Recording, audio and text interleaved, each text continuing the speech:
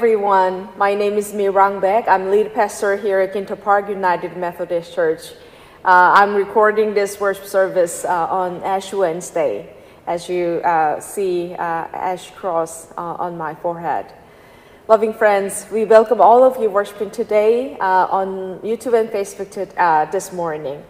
Join our online family. Subscribe on YouTube, like us on Facebook, and follow us on Instagram. Also, please visit our website, www.ginterparkumc.org, and please share this video with, with your loved ones on your social media.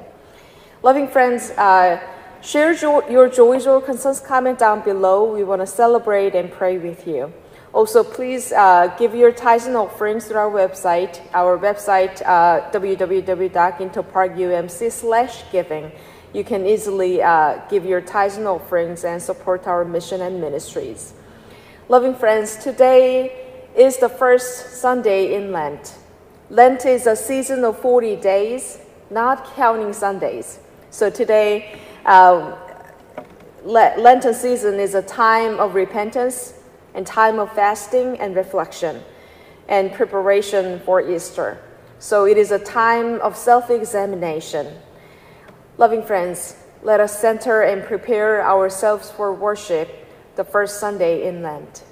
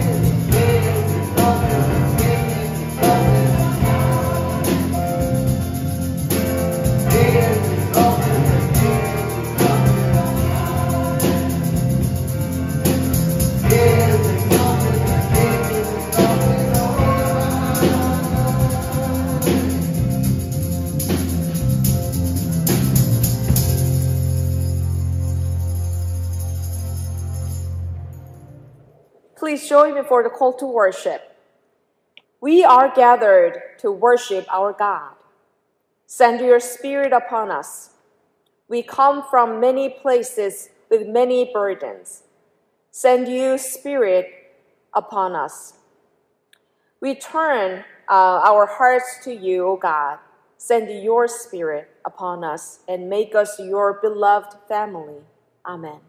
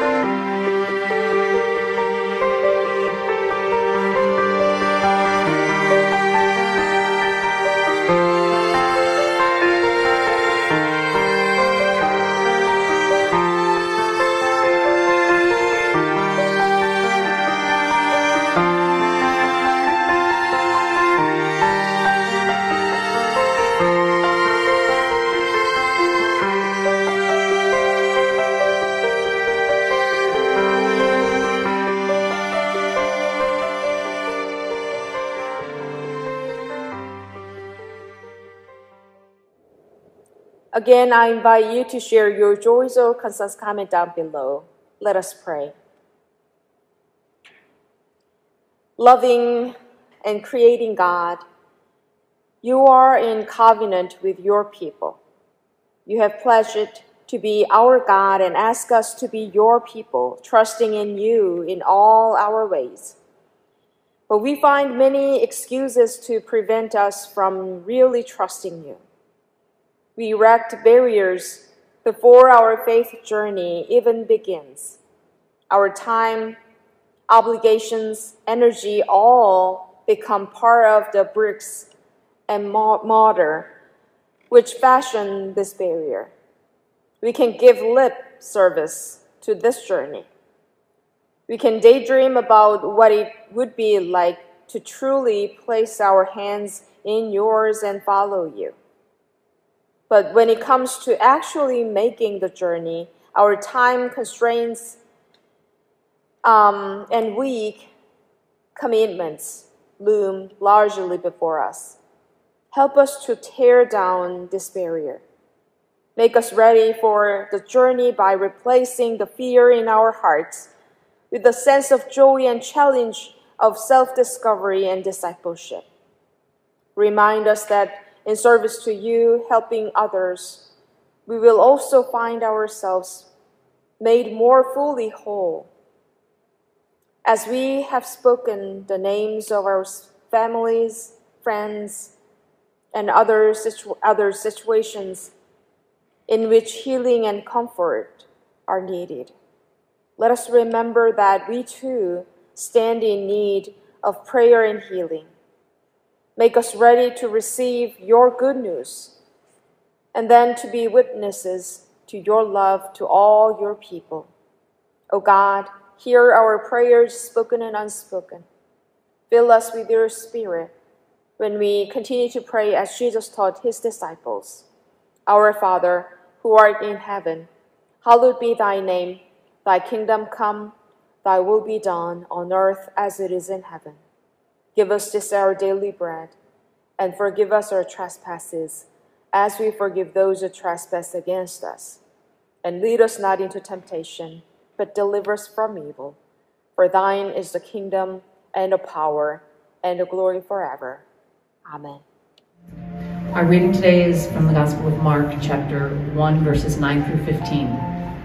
In those days, Jesus came from Nazareth, Nazareth of Galilee and was baptized by John in the Jordan. And just as he was coming up out of the water, he saw the heavens torn apart and the Spirit descending on him like a dove and a voice came from heaven, You are my Son, the beloved. With you I am well pleased. And the Spirit immediately drove him out into the wilderness. He was in the wilderness forty days, tempted by Satan. And he was with the wild beasts, and the angels waited on him. Now, after John was arrested, Jesus came to Galilee proclaiming the good news of God and saying, The time is fulfilled, and the kingdom of God has come near. Repent and believe in the good news.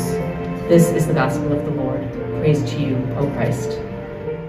Beloved congregation, here's a story. A three year old girl uh, came to her mother holding in one hand her great grandmother's vase, saying, Mommy, I'm stuck. Her other hand couldn't be seen. It was stuck uh, inside the vase. Her mother tried to move quickly without uh, I mean, panicking because the vase was valuable to her. Holding the vase and her little girl, she carried her girl to the kitchen sink. She used warm and soapy water to try to loosen the toddler, uh, the toddler's hand, which was instead in, in, uh, indeed stuck. When soap didn't work, she reached for the butter while uh, greasing her child's um, um, wrist like a, a, like a cake pan. She asked the apparent mother's question, how in, how in the world did you do this? The girl explained uh, that she dropped candy down into, into the vase to see if, he, uh, if she could still see it uh, when it was at the, at the very bottom. She couldn't. When she reached in her uh, reached in for her candy, she couldn't get her hand back out. So the more time went on, the more serious the, the whole situation became. The mother called the grandmother to come over and help, help, help assess the situation. A neighbor suggested Vaseline, so the apartment manager got, uh, got the WD 40. Still no luck. It seemed like the only way to get the child handout was to break the vase.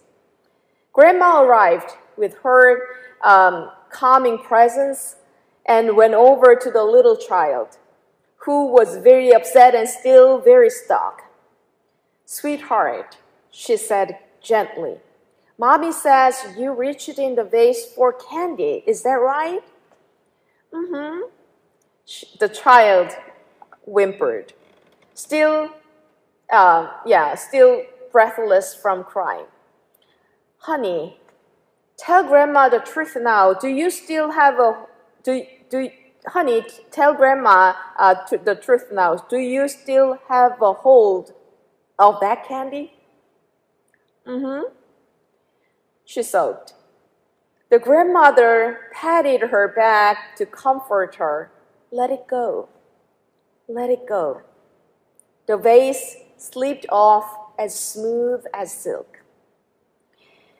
Loving friends, the Lenten season begins with Ash Wednesday, when we remember that Jesus took 40 days in the wilderness for prayer and contemplation. It is traditionally a time when we take a serious look at our lives. We look long and hard at ourselves and discover some things we don't like. It is time for some self remember and uh, I mean self assessment, and it is time for some challenge. On Ash Wednesday, we remembered that we came from dust and that we will return to dust. We recognize that none of us is um, I mean, invincible. None is immortal. We all will die. It is a day when we realize that each moment is a gift and not to be wasted each day. We repent, especially during this Lenten season. What is repentance? Is it to say, I am sorry to someone? Is it to uh, state your regretful emotion or mind? What is repentance? We can find the answer from the first proclamation that Jesus that uh, we just uh, read today. The Greek used for the word repent in the text is metanoia, which means to turn around from the, a wrong way or a, uh, to change into the right way to get the target. So, therefore, repentance, metanoia, implies uh, a life change or spiritual conversion toward a new life. I'd like to ask you have you changed your life toward toward, uh, toward live a new life in Christ? Have you had spiritual conversion toward new life in Christ? Loving friends, simply speaking, to repent means to put Jesus first in your life. Jesus, according to uh, Mark today's proclamation, now is the time. Um, he, Jesus proclaims, now is the time. Here comes God's kingdom. Change your hearts, change your lives, and trust this good news. Loving friends, I really hope and pray all of us can hear God's voice from this phrase. Now is the time. Here comes God's kingdom. Change your hearts and lives and trust this good news. We hear the tragedies every day from the news. But let's reflect on the last week, just a week before. Last Sunday, we heard Lakewood Church, uh, where Joel Osteen is ministering, had a shooting and two people injured. We also heard distressing news from the multiple locations acro- across the United States, underlining the pervasive issue of gun violence. In one notable incident, a shooting at the uh, late night Sweet 16 birthday party in uh, uh, Dadeville, Alabama, resulted in four young lives lost and numerous others wounded, some critically. This event is a grim reminder of an um, unpredictable and indiscriminate nature of such violence, impacting communities and leaving deep scars. Another heartbreaking occurrence was in Philadelphia, Pennsylvania, where a shooting in the Strawberry Mansion neighborhood wounded seven individuals, and in, including two-year-old girl and five teenagers. This, the victims found themselves caught in gunfire that erupted near a school, adding to a growing concern over the safety of children and their, the, the impact of gun violence to young lives. These incidents, among others, highlight an ongoing crisis that sees no boundaries, spanning age, geography, and community. The availability of firearms and the case, I mean, the ease with which individuals can obtain them, often despite clear warning signs, warning signs, calls for a critical examination of current laws and regulations. The pattern of gun violence prompts a pressing question about the response from lawmakers and broader society of us. The idea that increasing the presence of firearms, even suggesting that the teachers be armed, emerges as a proposed solution by some. However, this perspective is met with skepticism and concern, as it suggests a normalization of violence within everyday spaces, fundamentally altering the fabric of communal trust and safety. Loving friends, I believe that we Christians must listen carefully and seriously to the voice of Jesus. Now is the time. Here comes God's kingdom. Change your hearts and lives and trust in God, trust in good news. When I think of, think of uh, continuous gun violence in this country, now, now is the time to change something to make this country a better place, a safer place for children and their families and all lives. It is time for all to repent before God. It is time to pray persistently for God's forgiveness, mercy, and patience to all in this country. It is because we believe in the power of the love of God we believe in Jesus Christ, reconciled between God and us human beings. Therefore, we believe that we Christians are called and responsible for making peace, making reconciliation among human beings in conflict. As Methodists, we are called to live in the holiness of God. It is important to accomplish personal holiness day by day. However, we Methodists must remember that John Wesley, the beginner of the Methodist movement, emphasized always on the importance of social holiness because of because God creates the whole universe and Jesus' sacrificial life is for all and the Holy Spirit comes to all beyond boundaries. Christian faith and life are not to stay in the room alone, but to live together as all living creatures in the public square, which is God, God's created world. Very sadly and unfortunately, nowadays, so many people in this country are scared uh, of going out to a public square because so many deaths and violence have been there. Violence violence has been getting like a part of human ordinary life. As we all know, violence is destructive. It can destroy human body, mind, and soul and spirit. Therefore, now is the time that we should say no, stop to all kinds of violence. It must be the fire, the first step because so many people, especially politicians, reject doing so. However, we Christians must openly articulate this. Gun violence is evil against God's created world. We need to change this situation as a place all people can safely resident without violence. Biblically and theologically, we are called and responsible for living together with all living beings in this God's created world. As you see uh, in our prayer concern, we all have been prayed for victims from all kinds of violence.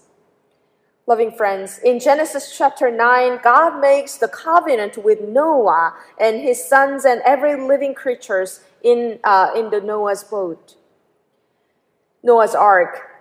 And it, it is a very beautiful story.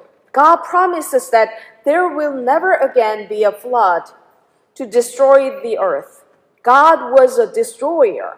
However, when God makes the covenant with Noah and every living being with him, God is willing to put down the power of the destroyer.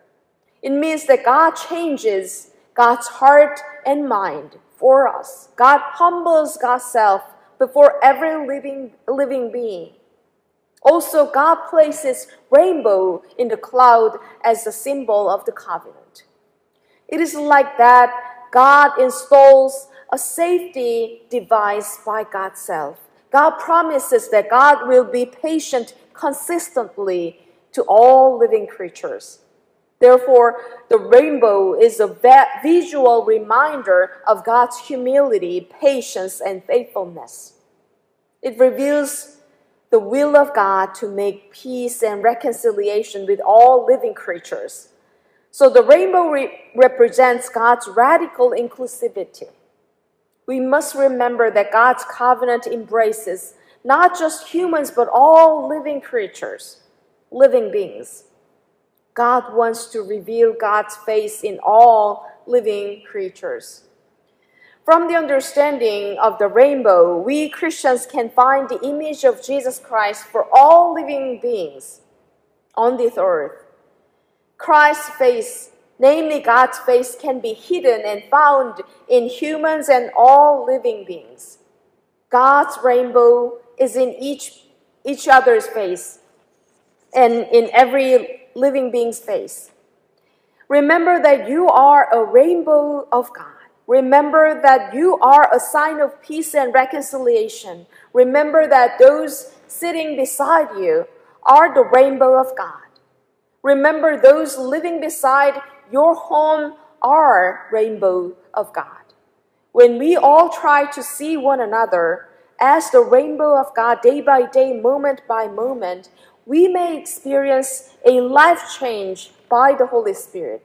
By doing so, we can make our lives better. We can live together with all other living creatures harmoniously. We can change this world a better place for children. We can change this, this country as a place where all people can safely resident. Brothers and sisters in Christ, I've very often spoken of love in my ministry here in this church. Love is the main theme in my sermons and ministries. What is love? It is not a complicated or difficult question. It is a very easy and simple question to answer. One day I swinged by uh, the children's Sunday school room and saw the craft that children made uh, and abandoned for a long time. It looked like long ago each one of them answered the question, What is love? I'd like to share uh, with you some of their ideas and answers. Love is being nice. Love is hugs. Love is monster trucks. Love is loving people. Love is my mom. Love is loving your brother. Love is snacking friends. Love is hugs and kisses. Love is mama. Love is when you are kind and nice to people. Love is giving hugs and kisses. Love is saying, I love you. I think the children know very well what love is and how they do. They may understand well the Word of God. By their expression, God hugs, God kisses, not just me or humans, but all living beings.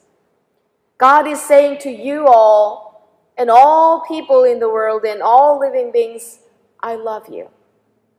Brothers and sisters in Christ, for the Lenten season, how do you continue to love God and others?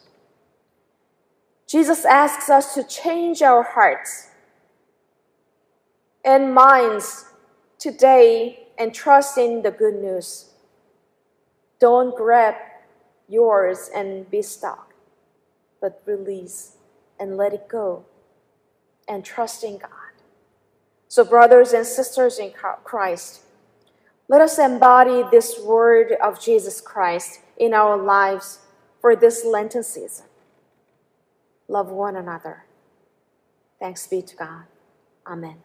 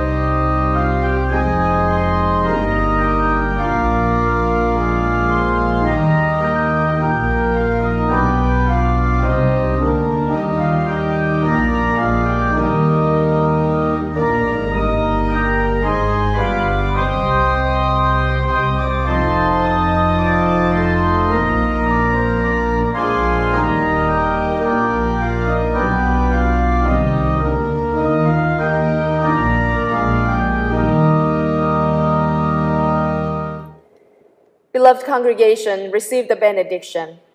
May the love of God the Creator, God the Redeemer, and God the Sustainer rest upon you and live through you this day and always. So now go in peace and love one another. Amen.